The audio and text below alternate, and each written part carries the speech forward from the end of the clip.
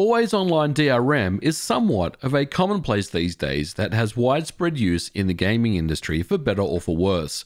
Its intent is to control the gaming experience and ensure a level playing field and to stop cheating.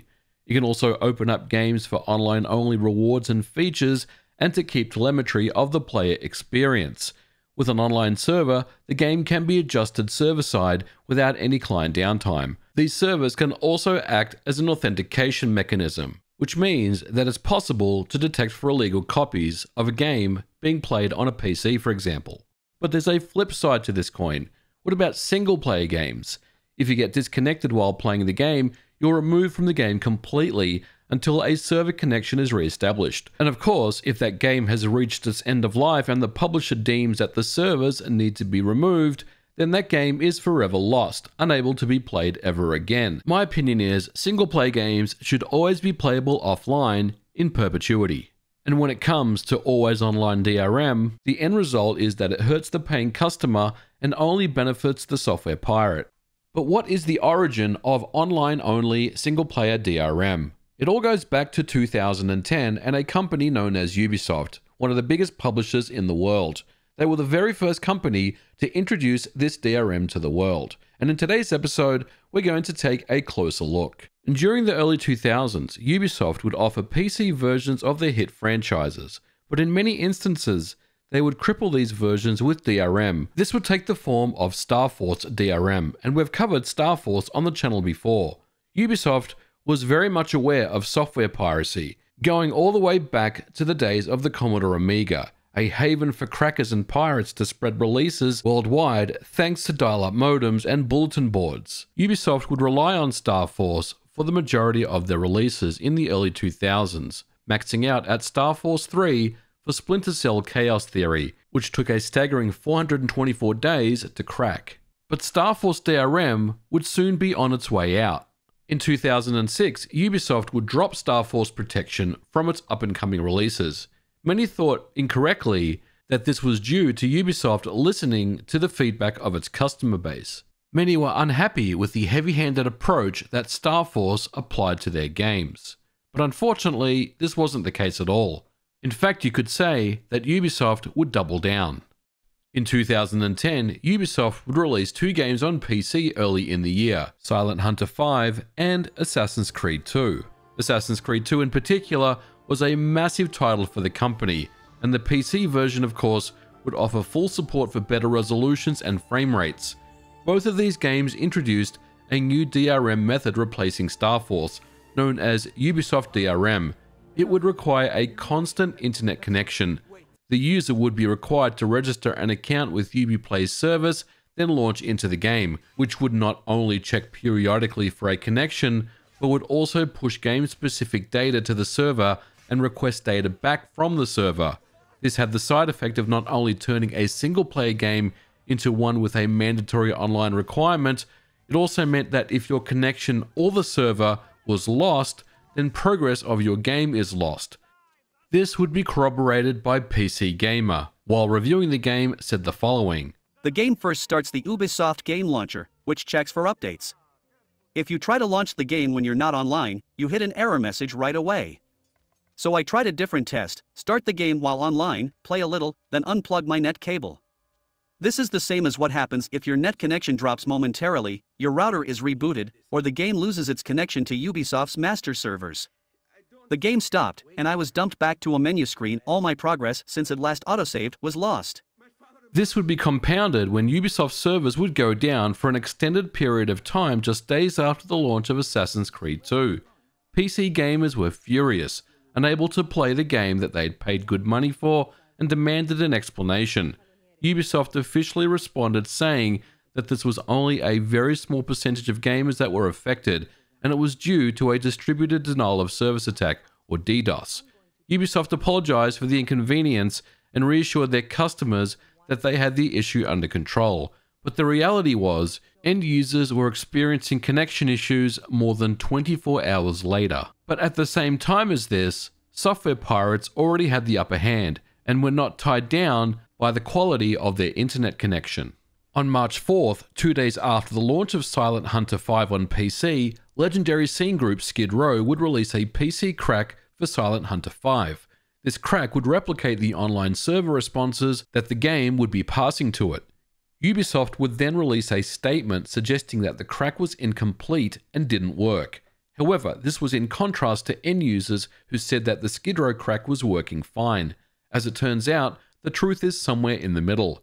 Skid Row's crack did work mostly, however, it was not 100% complete, and as such, the scene decided to nuke the crack.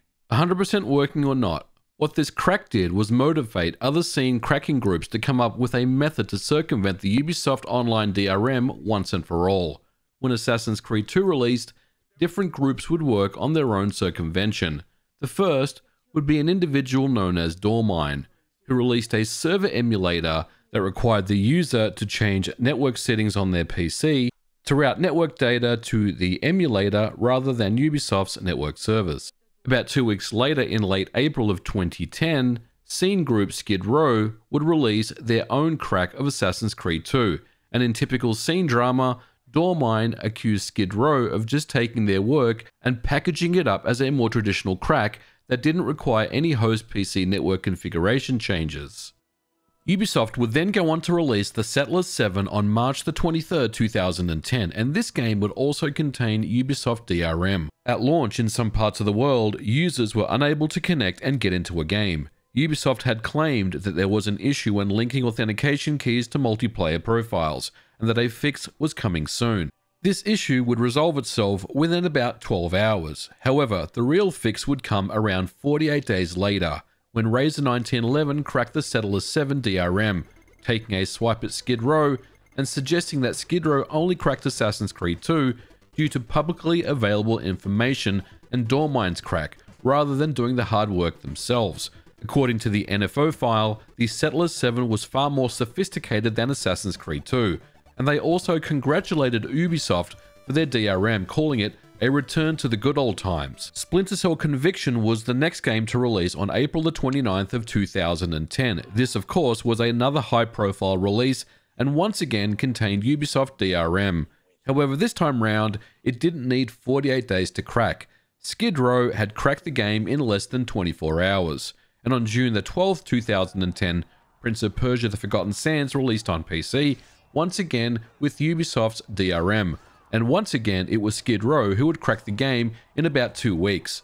Skid Row would give insight to how the challenge server response works and how that it's a different implementation for each game that's being cracked, so a release can take either a short amount of time or many, many days of work. In November of 2010, Ubisoft released Tom Clancy's H.A.W.X., again with Ubisoft's always online DRM. This would be the last game to ever feature it in this implementation, and the game itself would take nearly two years to crack. The reason for this is unclear, but perhaps it was not as high profile as a game such as Splinter Cell, Assassin's Creed, or Prince of Persia.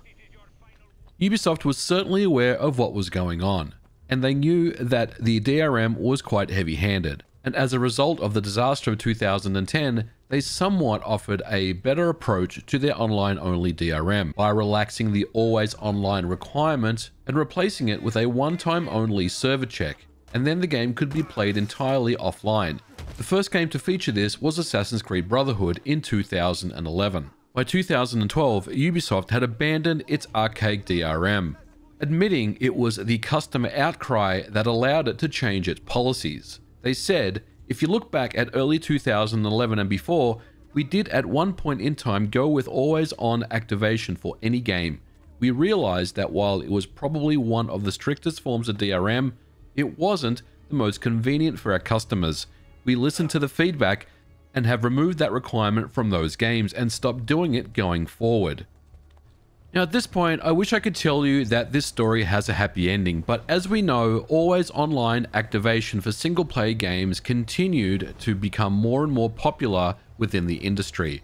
Other publishers quickly followed suit and offered always online activation for their single player games. The biggest example of this would be Electronic Arts. Ubisoft did end up repatching many of their single player games and removing the online DRM completely.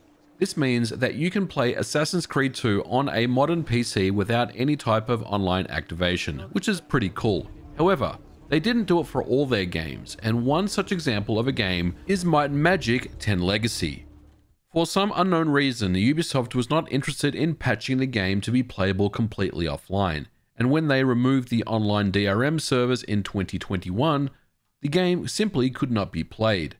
Of course, fans and customers of the game were unhappy, and unfortunately, Ubisoft were not interested in actually patching the game. Rather, what they did was to simply remove the game for sale on Steam, with zero communication to their customers. Now, to be fair on Ubisoft and to give them credit, they did make good on this, announcing that in October of 2021, they said, We're happy to announce that all conditions are met to bring the game back to the Ubisoft store and onto Steam and that new and returning players can now venture into the wide and mysterious world of Ashan again. And now in 2023, as I'm actually making this episode, I'm seeing reports of the Diablo 4 servers being offline. And it's just a reminder that the industry continues to make the same mistakes over and over again. And it's becoming more and more apparent to me that we're living in an age where video games are being paraded out in some kind of glass cabinet, and you have the ability or have a ticket to play that game for a certain amount of time. Unfortunately, that ticket has an expiration date, and that expiration date is when the publisher deems that the game does not need to be on any online service anymore. This is a far cry, no pun intended, to the old days where I used to buy physical media and know that I could do anything I wanted with that physical media, including dump the game itself. But rather than go on another 10 minute rant about online only DRM, we're going to leave it here for today's episode. I do hope you enjoyed this history lesson. Ubisoft was the first, but other publishers had similar things in the works. But that's going to do it for today's episode, guys. Thank you so much for watching. If you liked it, please don't forget to leave me a thumbs up. Enjoy this video, and I'll catch you guys in the next one. Bye for now.